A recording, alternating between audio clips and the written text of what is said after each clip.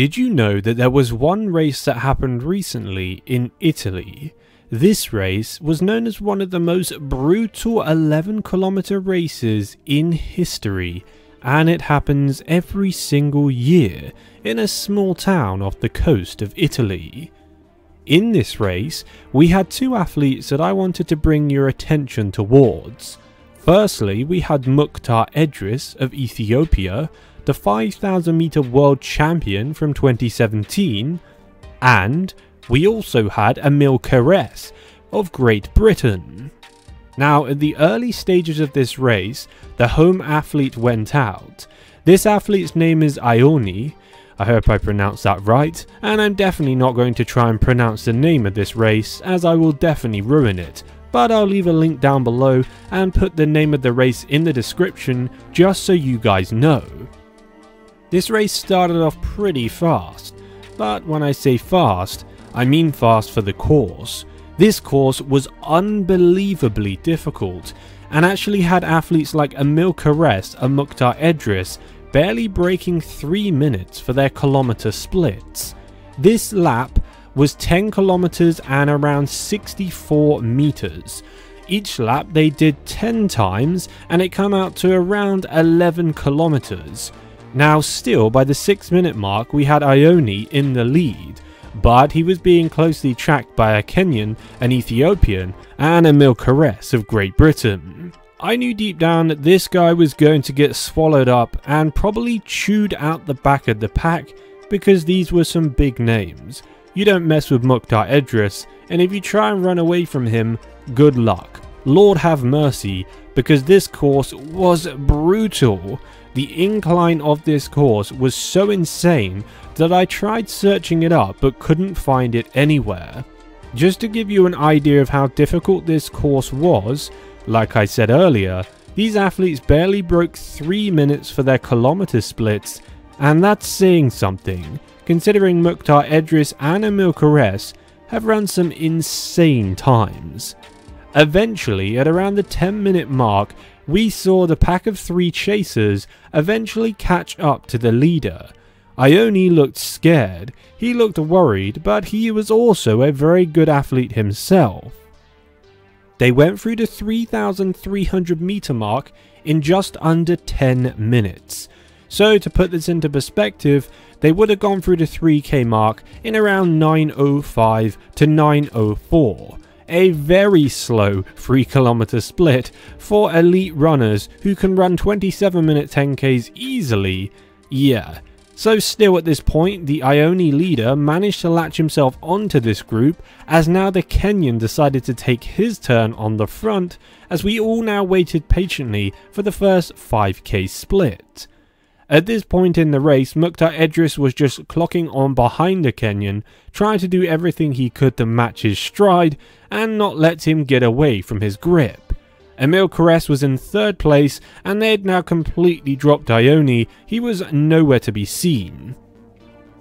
At this point in the race, they started lapping athletes and they were just really pushing on until an actual exciting move happened around the 21 minute mark by Emile Cairess, who decided to put a surge in to try and break down the Kenyan and Muktar Edris. Now initially this surge did work, but you'd have to be very hopeful to break Muktar Edris considering he's still in very good shape. He didn't have the best of Great North runs recently, but still I think that's because of the humidity and heat, and he did end up completely blowing up and having a huge positive split, which was dreadful running. In this case, the group managed to get back onto Emile, and soon his surge wasn't really paying off very well. At this point, he was now just tiring himself out up the hills, and I truly believe that he could have won this race if he hadn't have done that. Now, I'm not saying that somehow Emile's tactics were bad. He tried to break the athletes and he did it a good time. At the 9,002 meters mark, they went through in 27 minutes 14 seconds. So they were planning to go through the 10k in around about 30 and a half minutes or somewhere around about that. At this point in the race, Emile Cairess was doing most of the work as they now approached the 10k mark. At this point in the race, there was only around a kilometer and a half left to run, and still it was anybody's game.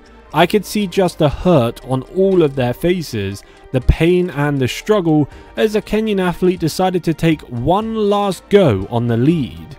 It seemed to do well, but it managed to drop only Emile Cairess, with Muktar Edris basically tracking his every move and never letting the gap open to more than around 15 to 20 meters. I think at this point the Kenyan thought he had actually won this race, but what happens next, no one really expected. At this point, Muktar catches up to the Kenyan and overtakes him with ease. Now they still had a couple of minutes left of running, but Muktar decided to now make his only and first aggressive move of this entire race. Eventually he came through, with around 400 meters left to run, he managed to overtake the Kenyan and go back into first place, running this race very smoothly and basically doing no work at the front. So in my opinion, Muktar ran one of the most tactically perfect races I've seen all this summer. As he came down for the finishing stretch, the locals cheered him on as he went through the finishing tape in a time of 33 minutes and 56 seconds. Now I don't know the exact distance of this course, but I've seen things online saying it's 11,000 meters on the dot or that it is 11,200 meters on the dot, and I've also seen sources that just call it a 10k race, which seems a bit hard to believe, but either way, a 34 minute 10k would give you guys an idea of just how truly difficult this race is. One other thing I tried to look up, which I can't find, is the prize money of this race. For it to attract Muktar Edris and Emile Cairess and other Kenyans and top level Italian athletes, it would have to have a good healthy amount of prize money, otherwise the athletes simply wouldn't turn up. I really think this event is very good, and at the end of this, the elite athletes were awarded with their medals, their checks, their prize funds, and some pretty cool ornaments and awards. This race has actually happened every year, I believe this year's was the 97th or 96th edition. It's happened most years with athletes like Yeman Crippa Racing and other Italian specials, but in this case we have to say that I've never really heard of this race until recently. So you guys, if you want to watch other races like this, where other channels probably won't cover this type of thing, then this is definitely the channel for you.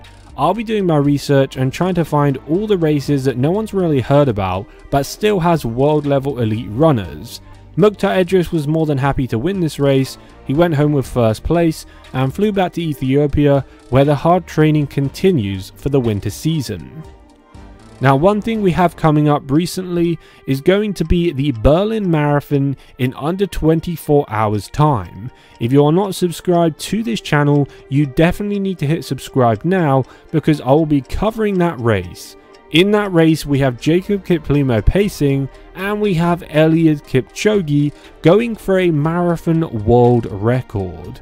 Many people said in my last video they believe he can go sub 2 hours 1 minute which I think is very believable. A small handful of people did actually say that they believe he can go sub 2 and I am one of those people because let's be real you guys, Eliud used to have a PB of 205, now it's 201. I believe that at his whole time peak he could maybe slip under the 2 hour mark only if Jacob Kiplimo is pacing him. In this case, I'm looking forward to covering more races in the future. Congratulations to Emile Cairess, Muktar Edris, and all athletes that took part in this race in Italy. I like the fact that this race was so unique and different. Not only was it in the centre of a traditional Italian town, but the locals came out to cheer them on, and it was pretty difficult to watch. In this case, I struggled to find the footage, but I managed to find it for you guys and bring you guys the content, so make sure you drop a like and subscribe if you're new here. This race looked pretty hilly, and I have to say that I wouldn't really want to do this myself, so I respect these athletes for doing a great job. Anyway you guys, thank you for watching today's video, this has been The Runner and I'm your host commentator. I'll catch you guys tomorrow for the Berlin Marathon, Let's all wish Eliud Kipchoge good luck and cross our fingers that he runs a world record time. I'll catch you guys then. Peace out.